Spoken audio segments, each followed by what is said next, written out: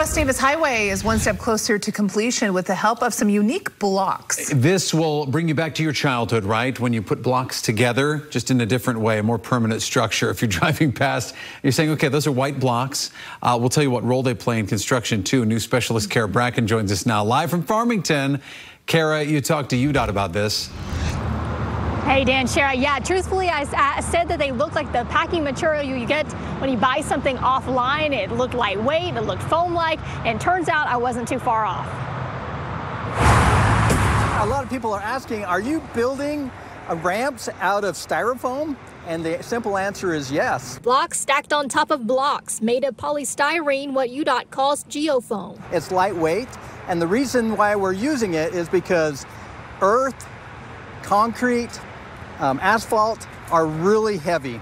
And uh, this polystyrene is about 100 times lighter than those materials. May not seem that strong, looks are deceiving. One square foot of this uh, material, when, when the weight is equal across it, can hold over four tons. It's not a new idea. In fact, Harris says they've used geofoam since the 90s, back in the days when the Olympics came to town. A lot of people don't know that they're driving over a lot of fills that have this very material in it when they're driving through Salt Lake County. He says from what they're building here, the white blocks you see will be covered in the next couple weeks. Then over the next three or four months, decks will be built on the structures with the hope that by the end of this year that West Davis Highway will be open for cars to drive across it. Guys.